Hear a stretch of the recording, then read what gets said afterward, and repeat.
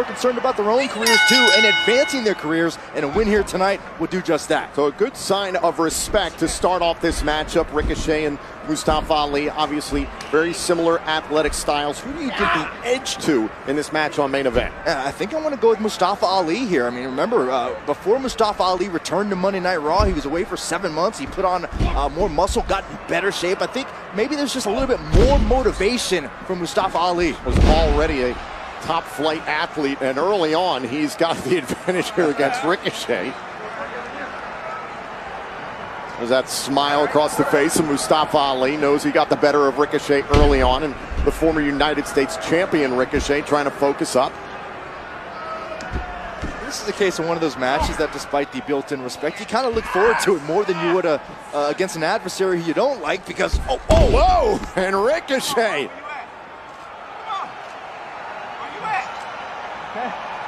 Case in point, you, you want to be able to have those bragging rights with your friend. And Ricochet bests Mustafa Ali in that instance. Two superstars, Byron, who become very familiar with the Hurt Business, who had a great weekend at Payback. Uh, I'll tell you what, uh, MVP has not stopped crowing about the fact that Bobby Lashley is now the United States champion, not crowing about the fact, oh! Uh, he finally Hold on, cover, hook to the leg, kick out. Finally was able to get one over on Apollo Crews after all the trouble Apollo's caused the Hurt Business. And Ricochet has grounded Mustafa Ali early on here in this matchup. Still to come tonight here on WWE Main Event. More on what is happening regarding the WWE Championship.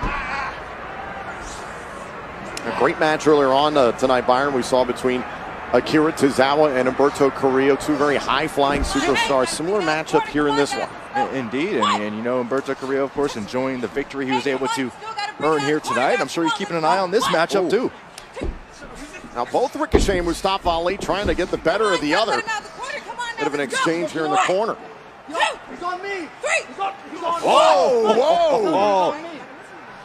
And a pretty hard elbow there to separate things, and Ricochet had to have gotten a little frustrated there in the corner. Uh, you knew uh, somehow, some way, ouch, it was going to get to this point where it gets just a little bit scrappier between these two men. And Byron, the way I think of it is, you know, you ever play a game of pickup basketball with your friends, you're having fun at first, it's friendly, and then, you know, somebody plays Bill Laimbeer there below the, below the net, oh, and all oh, things get a little personal. Happened to me plenty of times playing tetherball. Oh, and a kick right to the face, or a punch right to the face of Ricochet. You want to punch me, huh?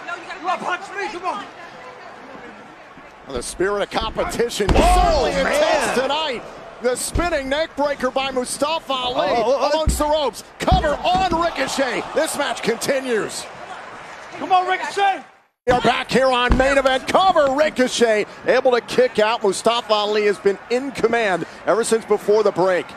Yeah, Mustafa Ali a bit incensed. Uh, Again, blaming Ricochet. Uh, I, I, don't know if you say incensed. Byron, again, if these two came in friends, you imagine they'll probably leave as friends at the same time. Things got a little bit chippy in there in the corner. Yeah, incensed, heated in the moment, fired up, you know. Right now, it's not about the friendship. It's about doing what you got to do to win this match. Why do you think Mustafa Ali, again, has shown a bit of an edge uh, recently in his matchups against the Hurt Business? Why do you think maybe... Oh! There's a great neck breaker by Ali into the cover on Ricochet. Kick out at two. Why do you think Ali has that edge at this point? There, there's a lot of built-in frustration from Mustafa Ali.